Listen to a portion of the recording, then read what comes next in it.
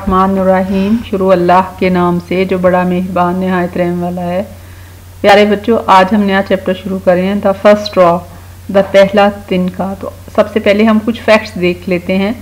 There are 264 known species of monkeys बंदरों की 264 इकसाम है।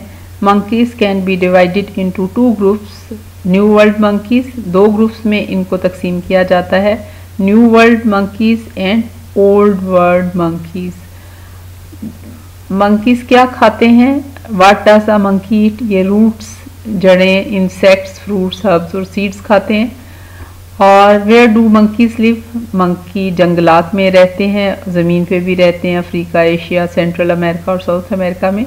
How long does the monkey usually live they live for 15 to 20 years और इनके बच्चे जो हैं five to seven months to be take to be born और उसके बाद मंकीज़ जो हैं, उनको पेट के तौर पे नहीं रखा जा सकता, ये सेफ़ नहीं है। और मंकीज़ का शिकार जो है, वो लॉयंस शेर चीतास और लेपर्ड्स करते हैं। कुरान मजीद में एक कौम का किस्सा आता है, जिसको, जिन्होंने सब्त का कानून तोड़ा था और अल्लाह ताला ने फिर उन्हें अजाब के तौर पर बंदर बना दिया। तो प्यारे बच्चों, हमें अल्लाह जो है हमारा रब है, हमें अल्लाह की बात माननी चाहिए। अगर हम नहीं मानेंगे तो हमें भी अजाब मिलेगा इस दुनिया में नहीं तो आखिरत में। तो आम तौर पे जो कौम अजाब के तौर पर बंदर बना दी गई थी, वो तीन दिन बाद सारे बंदर मर गए थे। ये जो अब बंदर हैं, ये उनकी औलाद नहीं है, ये शुरू से ही बंदर थे। तो अल्लाह ताला हमें तोफीक दे कि हम अल्लाह के कवानीन की खिलाफ वर्जी ना करें। Once there live the wise monkey एक दफ़ा का ज़िक्र है कि एक अक्लमंद बंदर रहता था। ही वॉज़ वेरी क्लेवर वो बहुत ज़्यादा चालाक था। The other monkeys always listen to him दूसरे बंदर उसकी हमेशा बात सुनते थे। माई फ्रेंड्स मेरे दोस्तों ही वुड से वो कहता था this forest is not a safe placed ये जंगल महफूज नहीं है। फियर्स जॉइंट्स लिव हेयर तुंदखू देव यहाँ पे रहते हैं। Remember do not eat any strange food कोई याद रखो, कोई अजीब खुराक मत खाओ। Do do not drink any strange water asked me first और ना ही कोई अजीब पानी पियो। पहले मेरे से पूछ लो। One day the monkeys came to a lake that they didn't know एक दिन बंदर एक झील के किनारे आए, जिसको वो नहीं जानते थे। Its water was clear and quiet उसका पानी साफ़ और ठहरा हुआ था and they had come a long way और वो बहुत दूर से चलकर आए थे बट दे मंकी स्टॉप्ड बंदर रुक के दे डिडेंट ड्रिंक उन्होंने पानी नहीं पिया they waited for their friend उन्होंने अपने दोस्त का इंतज़ार किया। The wise monkey walked around the lake अक्लमंद monkey जो है, उसने झील के किनारे चक्कर लगाया ही सा अ स्ट्रेंज थिंग उसने एक अजीब चीज़ देखी marks of feet went down to the water पाँव के निशान पानी के अंदर गए but no marks came back up लेकिन कोई वापसी का निशान नहीं था।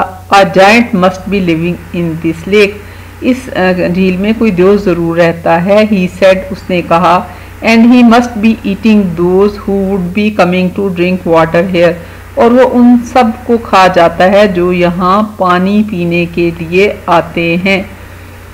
Just then a giant rose out of water तब एक बड़ा देव पानी में से निकला। What are you waiting for he cried वो चिल्लाया, तुम किसका इंतज़ार कर रहे हो? कम एंड ड्रिंक आओ और पानी पियो। द वाइज मंकी आस्ट अकलमंद मंकी ने पूछा do you eat those who drink here क्या तुम उनको खा जाते हो जो यहाँ पीते हैं? I do the giant roared देव धाड़ा हाँ मैं ऐसा ही करता हूँ।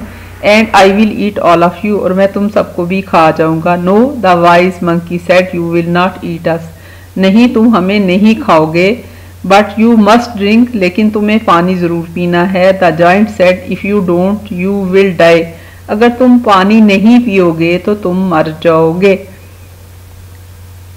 The wise we will drink हम पानी पिएँगे द वाइज मंकी आंसर्ड अक्लमंद बंदर ने जवाब दिया but we will be safe लेकिन हम महफूज तरीके से पानी पिएँगे हाउ कैसे? द जाइंट आस्क्ड द देव ने पूछा the wise monkey did not answer अकलमंद monkey ने, बंदर ने इसका जवाब नहीं दिया। Instead he picked a long reed that grew by the side of the lake बजाय उसने जवाब देने के, एक लंबी खोखली लकड़ी, पकड़ी जो के दरख्त से जो के किनारे के ऊपर उगी हुई थी। He put one end of the reed in his mouth he put the other end in the lake उसने एक सिरा अपने मुँह में डाला, दूसरा पानी में then he sucked up some water through the reed और उसने इसके ज़रिए से पानी चूसा। All the other monkeys did the same बाकी सारे बंदरों ने भी यही किया।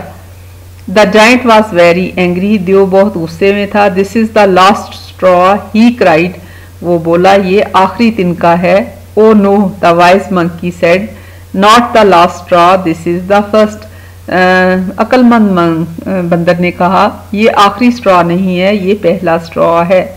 प्यारे बच्चों अकल से काम लेना चाहिए और दुश्मनों को अकल से जेर करना चाहिए। उम्मीद है आपको सबक पसंद आया होगा। इस चैनल को सब्सक्राइब करें, लाइक और शेयर करें।